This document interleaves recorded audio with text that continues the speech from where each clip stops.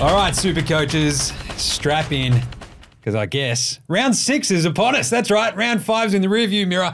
This is the Supercoach AFL podcast, your in and out guide to the greatest game on earth. Remember, footy's back. That's right. I'm your host, Jaymz Clements. Joining me are two of the smartest, smartest brains in the Supercoach world. We've got Patch over there. What's going on, Patch? Hello, I'm all right. I'm good. I Um, love this I'm that good. you're. I love that you're back again. You're like, just everyone got their fill of Patch week one, and it's like we're gonna have him back. This is just too good. So, you feeling the vibes? You feeling good? Yeah, I'm feel. I'm hopefully feeling like Essendon's going to get less slander this week. They deserve um, it less. after a decent win, and you know a few other clubs not doing qu- quite as well. Uh, I'm not- I've got if I no idea at- who you're referring to. If I look at my my Richmond and Carlton supporting co-host, uh, go Dons. nice one. We do have a uh, look. Carlton did lose to Adelaide. That's fine. Adelaide. That's maybe- fine. He says just with pain in his voice. It's fine. I, I promise. so many internal tears, but at least it's not West Coast. Hey, Al, what's going on, yeah. Al Paton? Yeah. How good was Harley Reid? I mean, just for our super coach teams. Uh, yeah, I wasn't paying much attention to the, the rest of the result there, but um, yikes, yeah, the Richmond injury list is uh, getting out of control. Sounds like excuses to me, but that's fine. uh, but that's right. We've got Al and Patch to talk through a whole mess of Supercoach today. And we're also going to bring on our man Dan in place of the Phantom, who has uh, taken at least a well earned little bit of a break, which is kind of nice, I guess. But either way, remember, you can sign up to Supercoach Plus, get right around Code Sports as well for all your Supercoach needs. And what else? You can check out the AFL Today show as well for way more news gear. But before we do anything else, how was your round five, Patch? Yeah, it What was your, all right. What was your score? How'd you go? I cracked the 2000 somehow, nice. despite the odds. 2026 um, was was the uh, the number I ended up with. So back in the top 1000, can't complain. Very good, Al. Uh, now, last week you mentioned the great uh, surf punk rock uh, outfit 311, and this week I've gone with uh, sort of similar vibe in terms of uh, music sound, the great uh, Bowling for Soup and uh, 1985. Uh, which just drops me about 300 spots, but 601 overall. So still pretty happy with where I'm sitting. I'm very much enjoying all these music references. this is great. Bowling for soup. What a what a throwback there, Al. That was very good. 1985. I got 1916 just because I managed to turn myself all upside down. I managed to, you know, snag the Gornicus vice captain, but uh, Tom Green. We'll get to him in a second because we're going to do some heroes and villains. Can I start there? Hero, Max Gawn.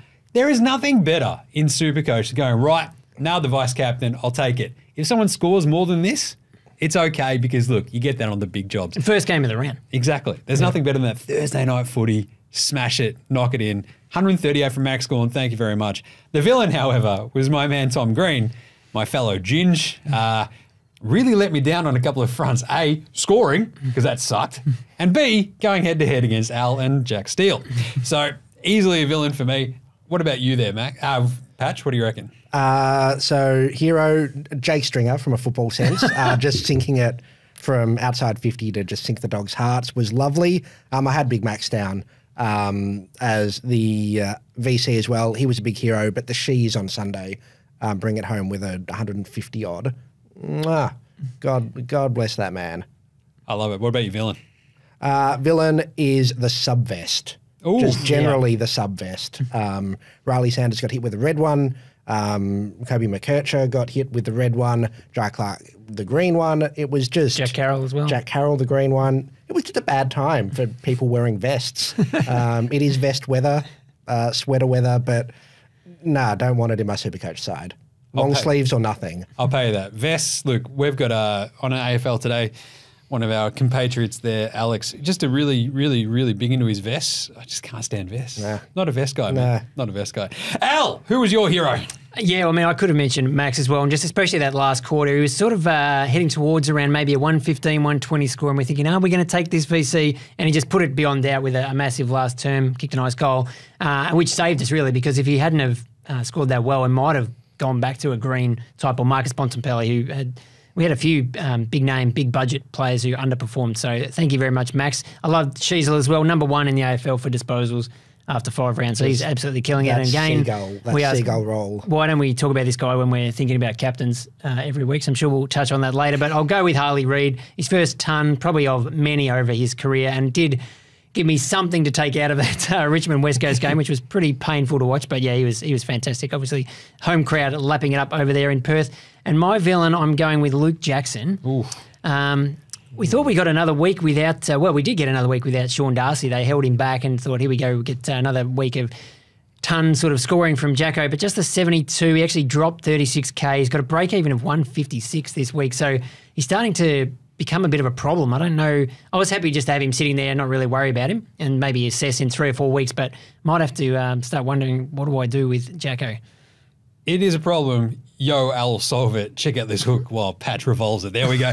the the villains was actually like a tough one for me as well this week because I'm Petracca, Tom Green, Jackson, all really big underperformers, which really hurt me personally, just right in my heart. So villains left, right, and centre. And I think, yeah, what, 72s, 59 for Trark. It was just brutal gear across the board. But either way, uh, let's do some Supercoach news, injuries, suspensions gear. Remember, we still have one more week of best 18 with Melbourne and Richmond on the bye this week, Al. Feeling good about the bye. Is this a good time for your Tigers to get the bye? Uh, yeah, I think any time is a good time for Richmond to get the buy at the moment. Um, yeah, not going to hurt us too much in Supercoach. Max Gawn, obviously the big one, missing, and uh, Nick Vlastuin for you as well, but uh, not too many Richmond relevant players. But um, I mean, I think I might have mozzed us by talking about how we haven't had a lot of injuries and suspensions to deal with this year, and then they all sort of uh, the big truck came through on the weekend and wiped out a bunch of Supercoach players. Colby McKercher, the big one, subbed out as uh, Patch mentioned just the six Supercoach points. Rib injury. Still haven't heard really any update about how that's tracking, so we'll keep a close eye on that. North uh, last night, Alastair Clarkson sort of floated he's still a chance to play this week, so we'll see. But um, yeah, that didn't look good. Obviously, not great to have that score on field. Tom Liberatore, weird scenes going on. Yeah, that was concerning. That was not fun for anyone involved. No, no. So um, Bulldogs putting him in the concussion protocol, so he's out this week. A real um, blow if you've got him in your team. Matt Crouch, uh, as I've got him suspended for one week.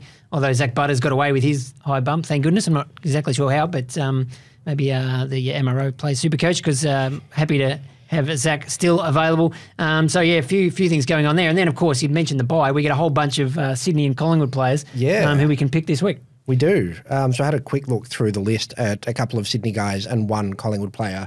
Because Collingwood's just not been a fantasy relevant side uh, so far this year. Um, but uh, yeah, just, just to briefly run through them, I want to get your thoughts on these guys. Isaac Heeney, 638k, averaging 144. Is he good? Should we get him? Oh yeah, A, yes. Um, B, yeah. I mean, good question for teams who don't have Heeney. Does he have to be your number one priority now? I I mean, he's mine, if that answers your question. Yeah, I think it does. Ja- James is someone who also was an idiot and didn't pick him. Initially, you- but I did trade him in just before his price rise, price rise, which was like my favorite sort of vibe here. I feel like the Heen machine, you get one more look, right, before it just gets almost impossible to bring him in, and it gets really, really tough. But if he has that one week where it's just a little bit of a downer, Patch might be sitting there going, "I told you, I told you. See, what are we going to do?" And it might just sort of smooth it out. And, and we've seen, you know, Tom Green's had a, a few bad scores, Petracca's had a bad score, Bont's had a bad score. Like these players will have scores that'll cause their price to tumble, even if it's a one week aberration. So that's, I don't know, food for thought for people like me who are looking to bring him in. Maybe he gets cheaper. Maybe he also goes to 800k. I don't know. Yeah, Um, yeah, it's a tricky one. I mean, you, you sort of imagine, like you say, with like a Tom Green, they're just going to score 140s every week forever. But history shows it doesn't happen, and we saw on the weekend. So, but yeah, it's tough just waiting for them to uh, to drop that bad game if you don't have them. Yeah. Um, Errol, uh, sorry, Nick Daicos uh, next on my list. If you didn't start Nick Daicos, well done. Yeah. You said it wasn't going to happen. He wasn't going to uh, hurt us too much. He was going to drop in price, going to get tagged by Finn Maginness. You know, deal with the buy. You were right. Well done if you didn't start him. He's 556k, averaging 106. No reason not to pick him if you were smart enough to, to give him a miss to start with, right? Yeah, I think you get him now. There was some uh, suggestion that maybe Willem Drew could has sort of shown him some attention in the past, but I think Drew's just uh, playing. You know, he's going in and getting the ball this year, not really worrying about tagging sort of thing. So yeah, I mean, Daicos is a great price. Um, his break even sort of very gettable. So Yep. um, now's the time. Yep. Um, Errol Gulden, uh, 607k, averaging 107, but 117 in his last three. I have lots of plans with Errol Gulden. Most of them involve just getting him on my team. Simple as that, right? I think he's fantastic. The 607 and a lot of what I'm sort of like projecting to sort of do this week, which I'll get to later, is with an eye to get Gulden down the track and just sort of like fingers crossed, like one sort of mediocre-ish game this week and away we go. It's sort of very similar to the uh, so the Daicos corollary here. If you were brave enough not to start with Nick Daicos, like you've been rewarded, which is kind of cool. I spent so much time this preseason going, Errol Gulden's in my team, and then I didn't. Couple of weird sort of wonky scores here and there, and I'm like, all right, this should be the time where he sort of just kicks into high gear. I want one more low score though, just to knock it down a little bit more to make him even more gettable. So I think Gulden's approach, like even though we've got Taylor Adams, Luke Parker back as well, right? Like I still think he'll be knocking him out of the park, Al. Yeah, and I think he's someone you would want in your final team. So yeah, now's the time to sort of start looking at that price and thinking this might be about as cheap as we can get him. Or like you say, can you hold out for one more week? I think they've got Suns this week and then Hawthorn. So Yep. Um, yeah, you probably wouldn't want to wait till after the Hawks game. Definitely. Um, you mentioned Tay Tay, um, Taylor Adams, 437k, averaging 97 with one score of 97. Um, we've still got one more week before his price goes anywhere. Forward eligible, which we love. Do you go now or do you wait? I think you got to wait. I just don't trust the look. At times, like last year, he was like, "Cool, great, love the uh, forward eligibility as well." I think last year, right?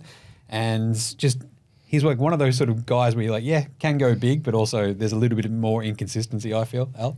Yeah, no, definitely wouldn't be jumping on just one game. If he, you know, has a big score this week, you might uh, have to think about him next week. But um, yeah, not not uh, falling over myself to get Taylor at this stage. Yep. And then the other one, Chad Warner at 537k is a bit of a bit of an X factor, bit of uh, for your bargain basement um, hunters out there, averaging 102, which isn't setting the world on fire, but hmm, hmm. Yeah, I think that that's a that's a good uh, summary of where we sit on, uh, So- on Chad. Yeah. So he started 118, Nice 120, 125, then ripped off the 102. Like that Essendon game, he came alive in like the last like quarter basically. Um, but then 73 against the Tigers, 96 against the Eagles. It sort of feels like he could probably have like maybe just a, one more tough one against the Suns, very similar to what we might be looking at with Gulden. I actually don't mind Warner as a point of difference, a good Pod Yadley, like later down the track. I reckon after this one week, he might also be another bit of a bargain for me. I might just end up with too many swans though. So yeah, it's a tricky question of balancing who can you afford, but then also if you bring in someone now, they're probably going to be in your team for the rest of the year. Um, and you know, is someone like Chad Warner going to be in the top end of midfielders when people might be going to get a, a Gulden or a Petracca um, in the next few weeks? So he's probably a rung below those guys. Yep. and he's priced that way as well. Righto, stocks up, stocks down after round five. Uh, very easy for me. Sam Walsh, watching him in person for his Yeah, first game. Obviously, you get to sort of wait one more week. That was his first game of the season, coming back from back issues. But he was electric 34 touches, just was everywhere. And I think we've sort of looked at Carlton all year, right, in terms of like supercoach stuff. Not wildly relevant here and there. It's apart from maybe Zac Williams, and that's about it, right? Um, we've sort of floated the idea of Harry McKay. Just that was bad, but still, he was on. He was up and about really early though in that game. It Al, was fun saying. while it lasted. It was it was fun while it was happening. But Sam Walsh, just the amount of the ball that he gets is like this is great. He's like probably after next week, I'll be trying my absolute hardest to get him into the side. So stocks up definitely. Al, what about you? Yeah, well, we just talked about who can finish in the top end, and I think he's definitely a candidate and pretty good price um, starting the year after a little bit of uh, some injury issues last year. Obviously, interrupted preseason, which can be a bit of an issue, come back to bite people, but obviously um, an amazing score on the weekend. But yeah, definitely I would wait. He's got the Giants this week, which is a pretty tough midfield matchup. If he goes well again, then uh, yeah, he'll be definitely very high on the radar. Nice one. Patch, who are you going to look at for stocks up? Stocks up on Elliot Yeo, who I've been Yo. like looking at from a distance for a little while and never seriously looking to bring him in. And then he scored 150 odd on the weekend against the Tigers. And oh boy, does he look back. He's playing as a full time mid, um, grunt midfielder. Very good. And he's also still cheap for a bloke averaging 120, is it? Um, at 550 odd K. Um, oh, I'm tempted. I'm tempted. We talked about it just uh, off air before that the uh, person who, the coach who won the weekly prize for the, the highest score actually had Yeo as captain and he had Zak Butters as vice. So he's passed on the 130. Um, we think maybe he could see the uh, potential to, to get the uh, the $1,000 prize for the week um, with the last game of the round and, uh, as you say, risk it for the biscuit. And he's put the C on Elliot Yeo and uh, wow, did that pay off. Oh boy. Um, so yeah, he's he's someone I'm really looking at, but in you know in practice, the the blokes I'm most stocks up on are the ones coming off the buy. Um, So we'll be looking very closely at Heeney and Gulden. Al, your stock's up. Um, I'll, uh, I won't spend too long on it because we'll have our rookie expert coming on soon. But the uh, the Gold Coast kids, well, Sam Clohesy's not really a kid, but um, one of the most uh, extreme break evens I've ever seen in Supercoach was a one minus one seventy four. Uh, could potentially break the record for the highest ever price rise after his third game this week. So most of us, so a lot of people got him last week. If you didn't, now make sure you get him this week. And his teammate Will Graham going. Uh, if Clohesy wasn't around, then we'd be all over him as well. So um, a couple of really good cheapies to jump on this week. You're about to go right up in price. Nice, yeah. it was like splitting the two last week. It's like I ended up with Will Graham. Don't know why. Just I think he just slotted into the mid defender, right? So that was Yeah. kind of like the happy sort of middle ground for me.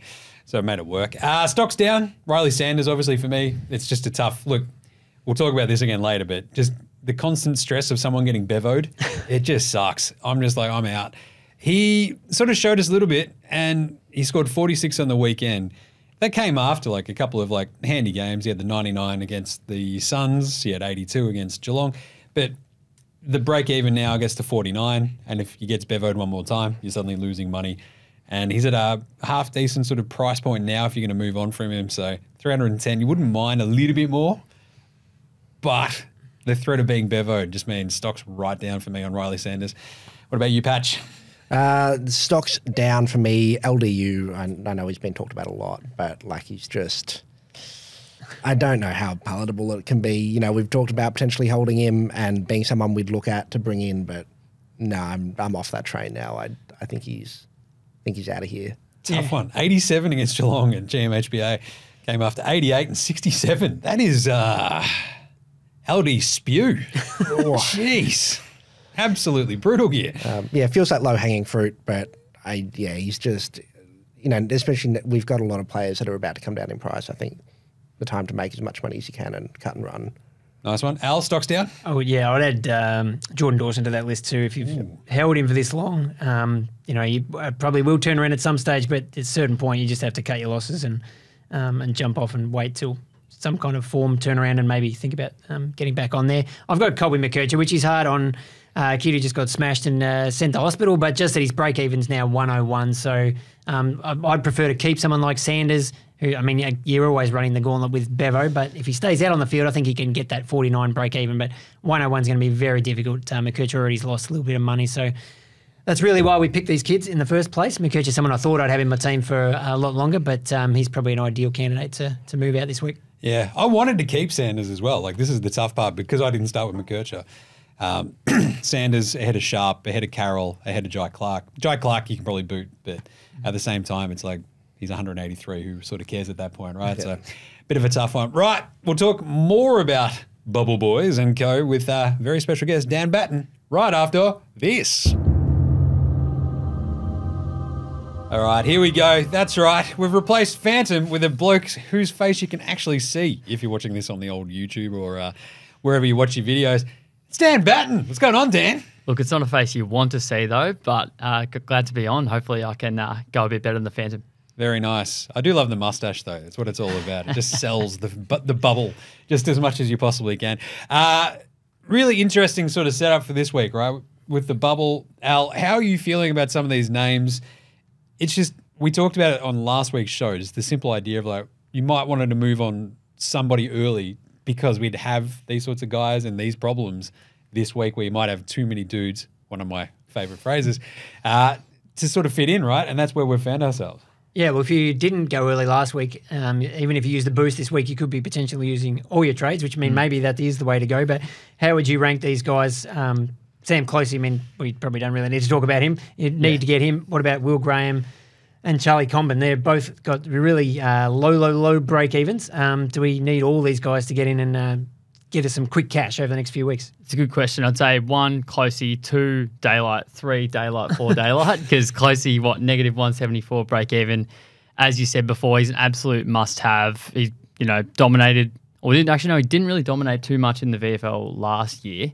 But his numbers this year has been been incredible. Uses the ball so well, so he can score well, even if he's not getting a heap of it. And he's been kicking goals as well, as we saw on the weekend. So but I think that the clear number two for me is Will Graham. It looks like the Suns are going to keep playing him. Highly touted prospect, uh, def mid as well, which is great for Supercoach, um, particularly when you've got guys like McKercher who might you might want to trade, guys like Massimo D'Ambrosio, a few options there to go to, and also provide some flexibility with guys like Matt Roberts also getting uh, DPP next week. Uh, McKercher as well probably will get that, but I think a lot of people will chop in before he gets it. I'm still a little bit undecided on Charlie Comben. I was talking to Al uh, off air that you know, are we sure that Comben's going to make more than 100k? We we all thought that Massimo D'Ambrosio was an absolute must-have uh, a couple of weeks ago, and he's probably made 100k or so. He's been pretty solid, but yeah, that's probably what you know, we, we might expect from Comben if he's scoring 65, 70s. But certainly his first two games have been really good. He's at that annoying price point as well, Comben, Yeah. right? He's like over the 220 mark.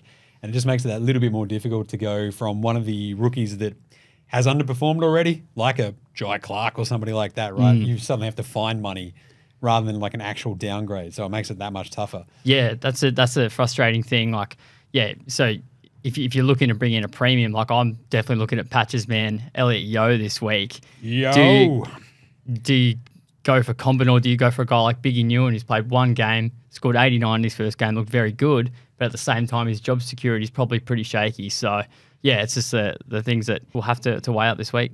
Nice one. What about the names that we want to boot? What who are we looking at in terms of some of the low price folks? Yeah. who we just want to uh, turf. I think it's probably McKercher, unfortunately. You know, he didn't do much wrong, just got a, copped a heavy hit, but he's probably gone. Uh, in my team, I'm, I'm looking at maybe Cadman, those who have, have Cadman. Definitely Jack Carroll as well. Looks like his break even's getting a lot closer to his average after he was the sub, and, you know, who knows how long he'll stay in that blue side. So there, there's a few, I think. Sanders as well. I, I, I do want to probably, you know, trade others before Sanders though, because we've seen his ceiling. He can score 90s, and he, he looked pretty, you know, peeved about being uh, made the sub on the weekend. Apparently, throw threw the toys out of the cot. So you know, he, he might be every chance to bounce back. And we know Libba this week, you'd think they uh, Yeah. can afford to pull him out, although, as we keep saying, this is Bevo. Um, what about uh, the man you were really uh, pushing it pre season down the highway, Jai Clark? Um, uh, I rolled the dice and put him on the field this weekend, uh, scored two points. Um, yeah, we talk about break evens and things. His is, I think, 70 something. Uh, has he scored that all year? He's probably has to go. But as um, James mentioned, you're not getting a heap back for him. That's right, yeah. And I think actually a few weeks ago when I was on this show, I had advocated trading him out, even though I rated him I so high, and that that might have been a good move in hindsight. But yeah, I think Jai Clark, yeah, it's probably time to go if you can get to that premium upgrade, or if you don't mind spent shelling that 40k in order to get Comben. But at the same time, it's probably others that if you- you're looking to get a premium, it's a lot easier to trade someone else who's of higher higher value than Jai Clark, who's only sitting at 180k. Yeah, it's interesting you mentioned Cadman because like what they've got the Blues this week. Yeah. it sort of feels like they have defensive issues, shall we say, Carlton, and especially with like the likes of Weeders and Co. going right. How do we stop Jesse Hogan? And then Cadman could be the guy who just sort of pops up out of nowhere and like snags like two or three at Marvel, feeling pretty good about himself. And he sort of just keeps afloat for one more week where you're like, all right, we nailed that. And same thing with Carroll, right? I think Yeah. for Jack Carroll with all the injuries that Carlton copped on the weekend, so they lose McGovern. Chera was already a late scratching for that game, and they lost Sard.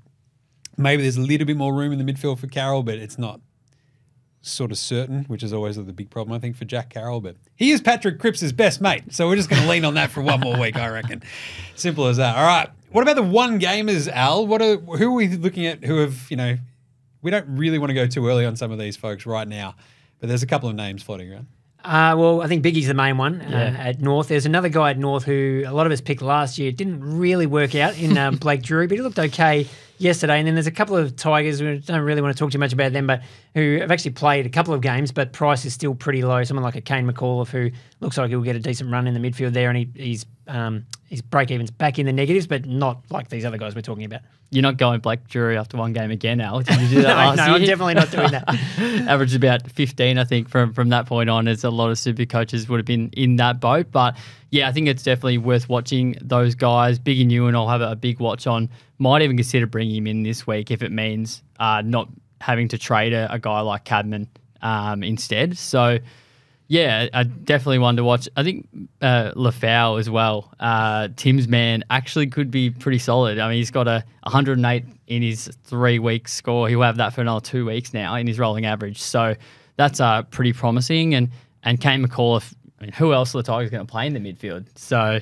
Thompson Yeah, Dow, your man. yeah, another one of my high priced rookie men. But yeah, I think that Kane McAuliffe is a, another pretty solid option as well. Uh, has good junior numbers. You know, uh, it wouldn't be a rookie segment without you know, mentioning South Australia junior numbers. So one of another of the Phantoms men there, and yeah, I think he could be a pretty solid option the week after. Very nice. It's also nice to see that uh, Mac Andrew on the bubble as well at that annoying 300 plus. but God, he's been good. I just want to sort of go, oh man, just annoying that I. He, I wish it was cheaper, just because you'd like slot him straight in. But oh, well, tough scenes. All right, any other names you want to throw out there, Dan? I think that's uh, about it. Yeah, another one that's sort of on the on the bubble this week is Mitch Georgiadis. He's had a, a pretty solid start, but I don't think you, you'd you'd be picking him over Charlie Comben. Charlie Comben's got that that interceptor role. Took about five intercept marks on the weekend. Was absolutely clunking them, and there's going to be plenty of footy back there for the Roos. So yeah, another reason why he's probably the better option there. Nice one. Awesome. You can go read Dan Batten stuff all the way across all the Supercoach gear in uh, what codesports.com.au. GeelongAdvertiser.com.au. And, and Geelong Advertiser. We'll see how Jai Clark's tracking for next week. Get right around him. All right, we'll bring Patch back in and talk some captains right after this. All right, big thanks to Dan Batten. That was very fun. You can always see his breakdowns of all things Supercoach at codesports.com.au. But the cool part is we brought back Patch. What's going on, Patch? How are you feeling about this Hey. captain's week this week? I look, I I hope that my VC once again goes nuts on a Thursday night and I don't have to think about it ever again. Very nice. So, my starting point there is it's a tougher week, Al. It's a much tougher week. You don't have a Gornicus Aurelius Maximus like to throw in there to reverse his name because we've got the Dogs Saints Thursday night, which you could go Bont if you're really, really keen, but I don't know how we feel about Bont up against the Saints. Well, all of a sudden, yeah, some of these uh, reliable guys you just don't feel quite as confident on, like a Bont or a Tim English was also uh, rubbish last week. Um, not a great result for people brought him in for Brodie Grundy, which Patch did counsel against. Hey, People weren't obviously I watching did. that, but um, I mean, I, yeah, and I even- said that. I said that Blake Drew, um, that um, Blake Howes would score sixty odd. He did. this is the man. Why he's back on, but is It it just- Patch Stradamus? There we go. Not Maybe, bad, Not bad. maybe. Sorry, I just sorry to interrupt. I just needed some receipts out. um, yeah, Petracca, the other one, obviously, was a bit disappointing. But I think, um, I mean, I've got Jack Steele on Friday night as well, but Bont doesn't play bad games very often. And looking up his record, averaging 155 in his last three against the Saints, playing back under the roof at Marvel. I think that's enough at least to put the VC on him. Nice. That's pretty good. I feel like he'd be stinging from the criticism during the week as well. I think he's one that will try and stand up and. You know, the Saints have put work into him, but I I would be backing him in again. One hundred percent. You love that. Anytime you can average 150 against a team, I feel like you should be backing that one. I like that. The problem is I don't have Bont because I'm an idiot. God, this just bites me every time. My look at this one for this week is Tom Green against the Blues at Marvel uh, with Coniglio possibly, probably, definitely out.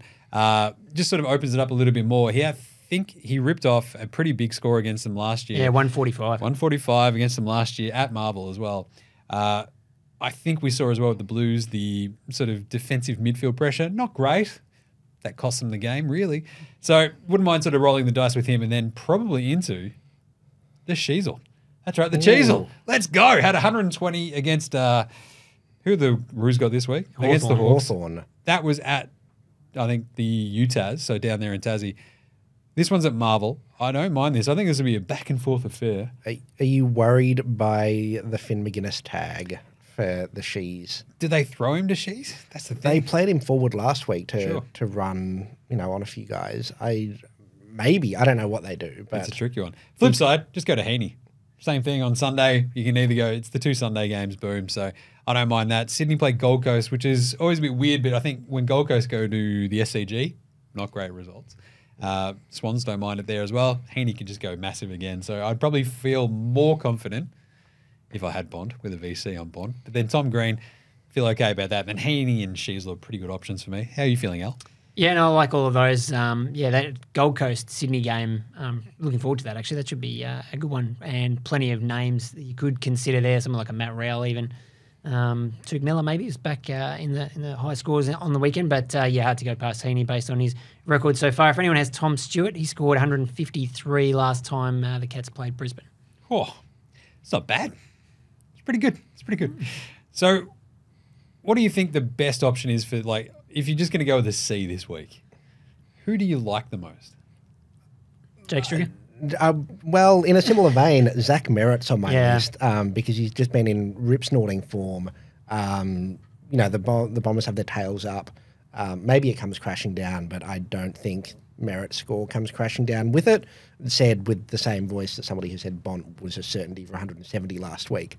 Um, so I think if I had him, I'd be I'd be VC Steel, C Merrett, get it out of the way early. Um, I don't, so I'm probably captaining Heeney, but I I really like Zach Merrett as a as someone to try and save up and trade in for, um, save up for and trade in, or as someone to, to captain if you you're smart enough to you look at that, um, uh, the Crows midfield on the weekend, they really shook things up a bit. And you know, Dawson was in the forward line, and Laird and Crouch was on the bench for most of the game. It seemed like, um, so they're giving you know Soligo and Rankine got heaps of centre Yeah. bounce time. You know, getting some more kids through there, which I think is the right move. It worked Yeah, for them on the weekend. But in terms of um, you know shutting down a player like we saw with Sam Walsh. Um, Yeah. On the weekend, and then uh, maybe Merrett this week, it probably uh, gives him a bit more freedom. Yeah, Sal- Soligo and Rankine are two that I'm watching very closely this week as well to trade in.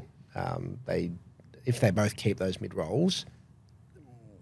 That was an watch out. ooh. That was an ooh. For those Uh, listening to the podcast, I don't have him in my team, but because again, idiot. Uh, Serong in the derby, Hmm. so he doesn't mind a massive, massive score against West Coast. He had 140 plus. I he's think, won a couple of uh, Ross Glendinning medals, I think, in the That's cabinet it. already. So he's an interesting one for Saturday night as well. Don't mind that. Uh, could just go huge. We know What about Luke Ryan? You have to think about him too, wouldn't you? That might have been Luke Ryan.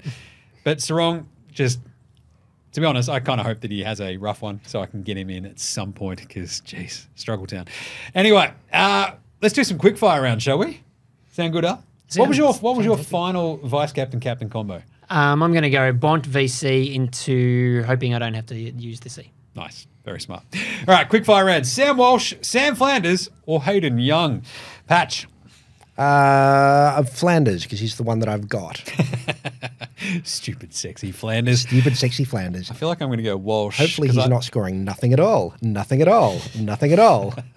Uh, I'm probably going to go Walsh before I go back to Young, just because I don't want that humiliation on my record. Al. Uh, I like Flanders as well, just on the back of I think Finn Maginness did start following him around on the weekend. I thought, oh, this could be the week he drops a poor score, but still turned up. So uh, very reliable. But Hayden Young probably has to be back on the uh, shopping list. Three scores in a row over 120, which is what we thought we were getting at the start of the year. So um, yeah, that's right up there with the top defenders. Yeah, it's what Phantom promised us, and it just it took a little while to come, a little while to be delivered. All right, two guys. We're around the 626,30,000 mark. Jack Steele or Isaac Heeney?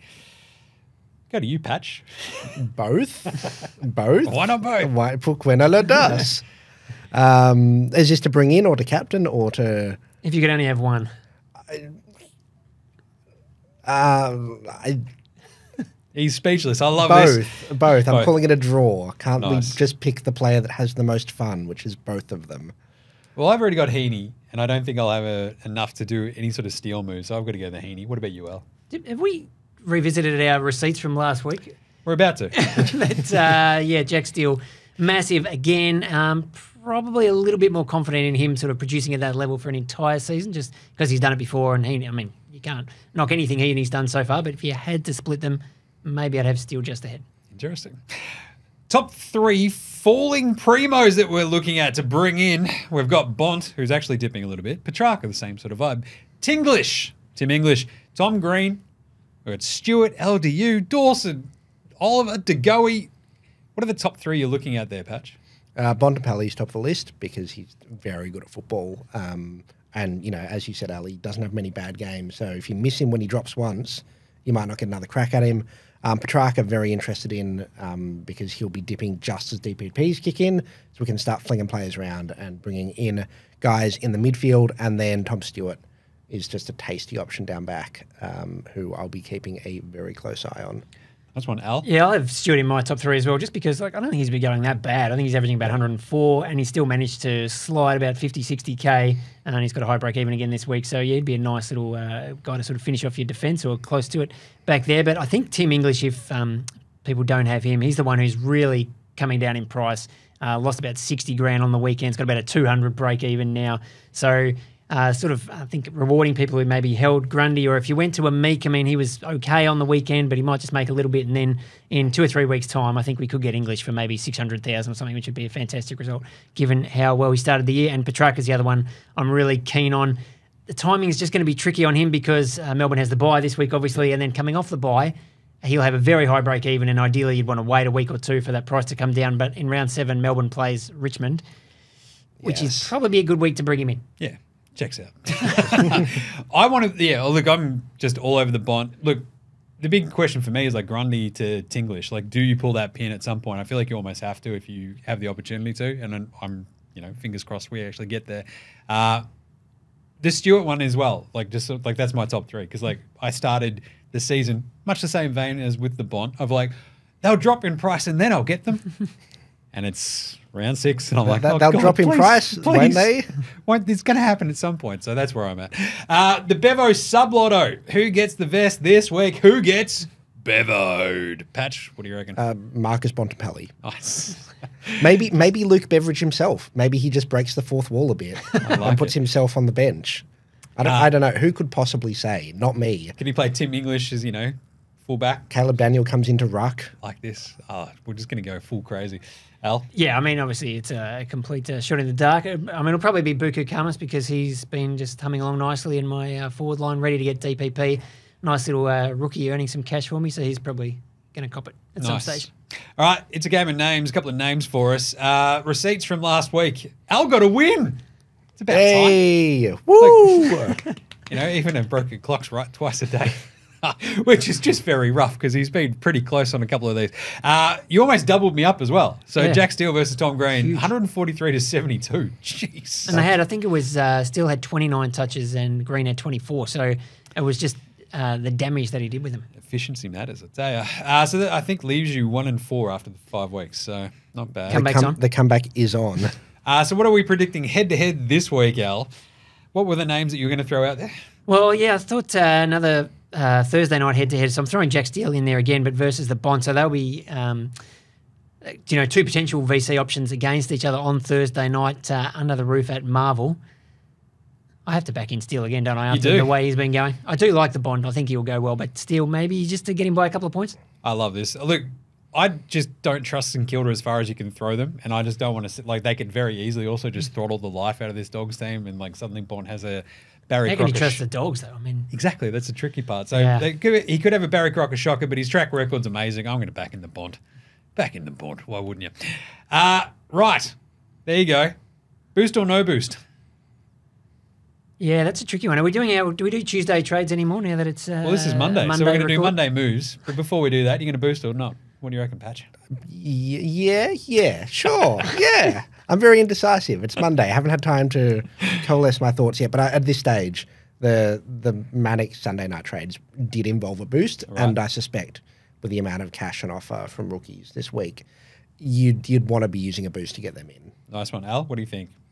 If I can get it done without a boost, I'll try and keep them in my back pocket. But yeah, the temptation, as you say, with some of these rookies sort of hitting the wall and uh, a few really good ones to bring in, you could do two of those and then make a bunch of cash and then use a boost for the third trade to try and grab um, whether it's a Yo or a Heeney or, Yeah. I mean, if you're going to spend up all the way and get a Jack Steele or someone like that. So Yeah, or even if you start saving for someone like Bont, if you start stashing away 100k this week and you stash away, you know, 200k next week, and you just kind of build that little kitty slow bit, slowly bit by bit. It's like you've just led me straight to water here, Patch, because I'm going to say no boost for me this week. But my Monday moves, the Monday trade, I feel like I might double downgrade this week just because I'm really struggling for cash. We've still got best of 18 for one more week, right? It's kind of like the one thing, one time you might just go, we might better bank a little bit here. So my first one, the Sunday night rage trade, was like Sanders gone. Can't can't deal with the bevoing anymore.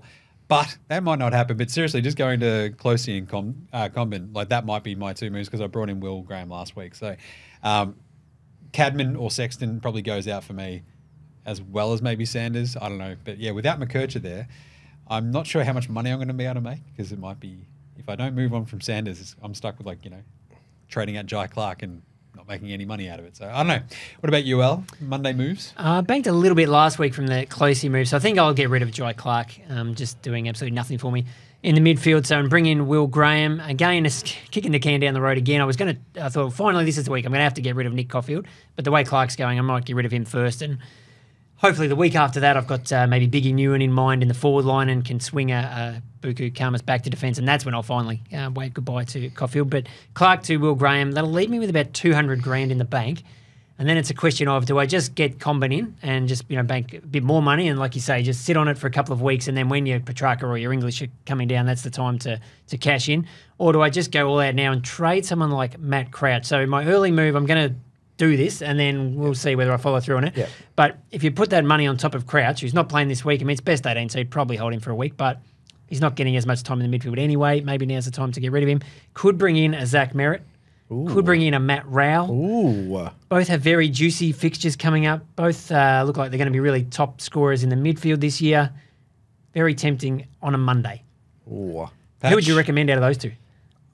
I, I mean, the, the scarf I'm wearing Mm. says merit, but I do love some Matty Rowell action. He's so good to watch, so good at football. Yeah, it'd be fun Um, to own, I feel. Yeah, I, I don't think you can go wrong with either of them if that helps.